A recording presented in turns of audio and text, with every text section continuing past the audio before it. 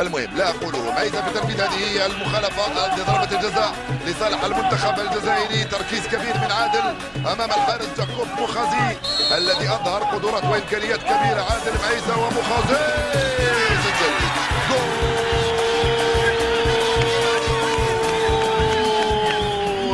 يفتح مجال التسجيل للمنتخب الجزائري عند الدقيقة الرابعة والأربعين من ضربة جزاء. الحارس ميخازير تما في المكان اللازم وال وال وال والجهة الصحيحة. ولكن تسديدة ميزة كانت أرضية باغتت الحارس. وافتتح مجال التسجيل المنتخب الجزائري. طبعا بالنظر للفرص الكثيرة التي أتيحت له كان يستحق أنه يفتح مجال التسجيل سواء من ضربة جزاء أو من لعبة. آه كروية أثناء المباراة. ولكن الجزائر النهائي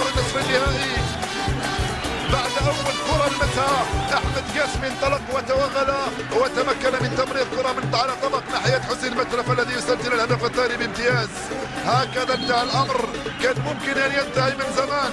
من زمان يعني في الشوط الأول أو في بداية الشوط الثاني. فهم ثانية هو الذي وزع على طبق لمترف. أربع لاعبين جزائريين أمام الكرة. الخامس كان هو اللي مررها نزار حاج عيسى ناحية قاسمي بدوره لفهم. يوزع ناحية الثنائي سوداني وحسين مترف.